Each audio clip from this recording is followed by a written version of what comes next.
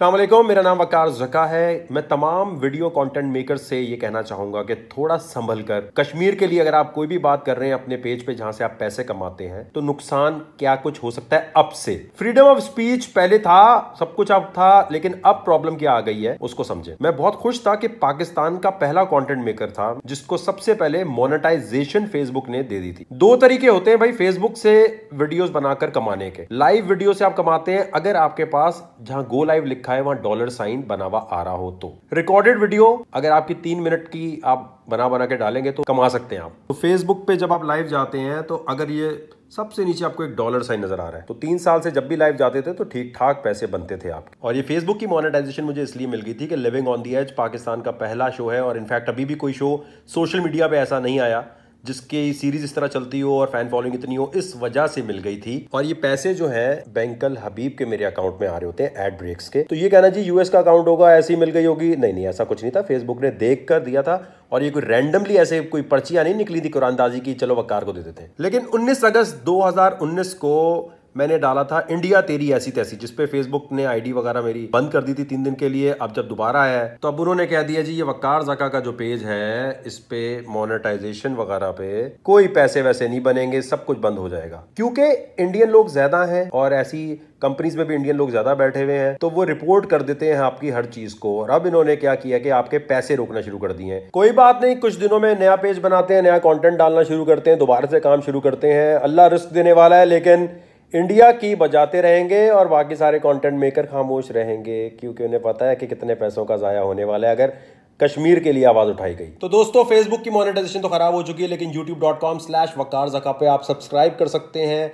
और यहाँ जाकर अब पैसे यहाँ से थोड़े बहुत बन रहे हैं, उस पर काम करेंगे। किस किस्म का कंटेंट अब डालना चाहिए, जो आप देखना पसंद करते हैं प्रैंक्स करें व्लॉग्स करें, जिसको आप पसंद करें, क्योंकि देखो भाई, दाल रोटी भी तो चलानी होती है ना। लेकिन हम इंडिया के खिलाफ बोलने से रुकेंगे नहीं, आवाज़ उठाने से रुकेंगे नहीं। लेकिन देखिए कॉन्टेंट मेकर के लिए ये एड्स बहुत ज़रूरी होते हैं। अब आपकी सपोर्ट देखते हैं, जहाँ वीडियो देख रहे हैं, वहाँ यूट्यूब का लिंक दिया हुआ है। अगर दिल करे तो सब्सक्राइब कर दें, वरना गालियाँ देते रहे, भाई, क्या कर सकते हैं? अब ये डॉलर साइन कभी वापस आएगा या नहीं आएगा, या फिर ये जो पैसे बन रहे थे, दो हज़ार सत्रह का है ना ये दो हज़ार सत्रह का एस्टिमेटेड अर्निंग देखें, इतनी है। तो ये इतने इतने ज़्यादा पैसे जब बन रहे होते हैं डॉलर्स में तो ये कोई मामूली अर्निंग नहीं है जो ज़ाया होने लगी है।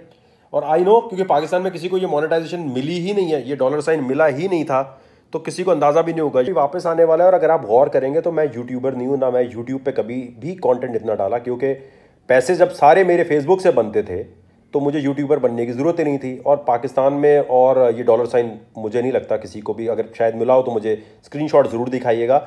लेकिन अब ये डॉलर साइन वापस नहीं आने वाला और हो सकता है पेज भी मेरा बंद कर दिया जाए। लेकिन कश्मीर के लिए आवाज़ उठाते रहेंगे, जब तक जहाँ में जहाँ है। अब यूट्यूब के ऊपर जो है, आप सब्सक्राइब कर सकते हैं अगर दिल करे, या फिर बोलते हैं, अरे जानी वकार जका को पैसे क्यों बने? वकार जका को क्यों हम सपोर्ट करें?